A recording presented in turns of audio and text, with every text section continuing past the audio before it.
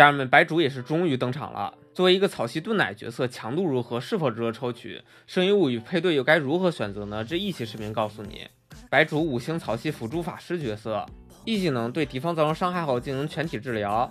是技能给场上的角色每两秒套一次盾，但是这个盾是比较脆的，但是也可以当一次抗打断来使用。然后这个角色突破材料是这些，不知道大家的材料与魔拉攒够没有？下面讲一下武器推荐与圣遗物推荐。五星武器首选专武碧落之龙，次选不灭月华。四星武器推荐狮族金魄、祭礼残章、白尘之环。这里推荐平民玩家可以优先使用狮族金魄，这个武器还是非常适合白竹的。圣遗物推荐二花海、二千岩。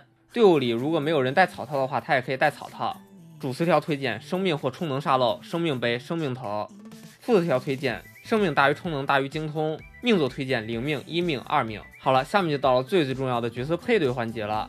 白竹作为瑶瑶的上位，基本上是可以带瑶瑶的队伍中，同样也可以替换掉瑶瑶带上它。所以第一套推荐的阵容是尼禄、艾尔海森、叶兰、白竹。这套阵容中把原有的瑶瑶代替掉，换成了艾尔海森与白竹。如果你没有艾尔海森的话，也可以用卡维进行代替。这套阵容也是解决了星海画地为牢的问题。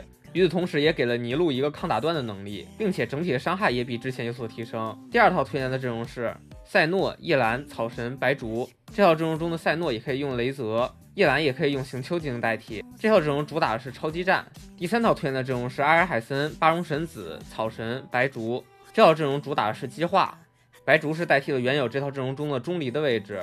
最后讲一下抽卡建议。